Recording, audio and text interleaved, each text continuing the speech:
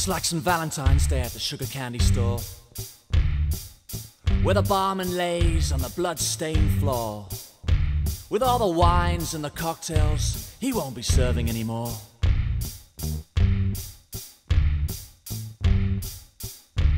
To the swingers and the roustabouts and the carnivore queen Who's looking for the three Scrooges who are nowhere to be seen And life's just a bowl of cherries for the fruit machine The taking of Peckham One, two, three, one, two, three La, la, la, la, la, la, la, la, la, la La, la, la, la, la, la, la, la, la, la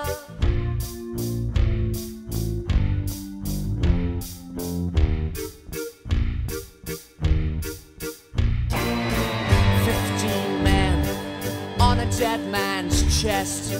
They robbed him blind, then dumb, and then deaf, and they left him there bleeding on the pavement to die. And he went to that great high rise block in the sky, and the hands do the dishes feel as soft as your face.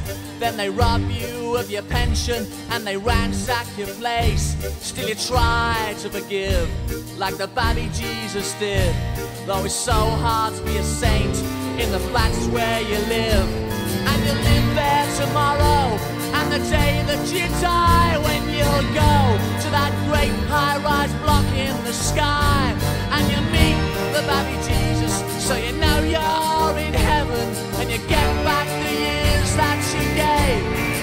Making up.